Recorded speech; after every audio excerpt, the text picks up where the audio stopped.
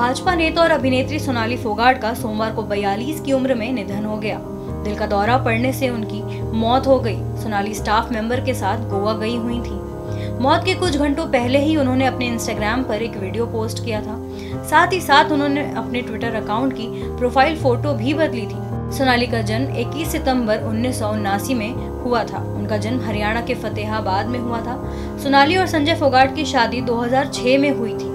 उनकी बेटी का नाम यशोधरा है। यशोधरा सोनाली की एक लौती बेटी है। आपको बता दें, माँ के निधन के बाद यशोधरा एकदम अनाथ हो गई है। 2016 में यशोधरा के पिता संजय फोगाट की रहस्यमय हालत में उनके फार्म हाउस पर मौत हो गई थी।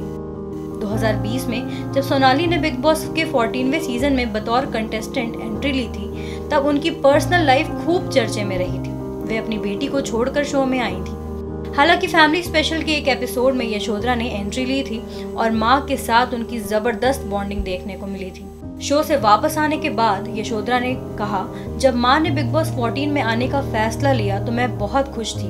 बिग बॉस में मेरी माँ काफ़ी अच्छा खेल रही हैं। इस बातचीत में यशोधरा ने बताया कि जब उनकी माँ बिग बॉस में आ रही थी, तब वे उनके दूर जाने के लिए मानसिक रूप से तैयार थी, क्योंकि वे हॉस्टल में रह रही थी।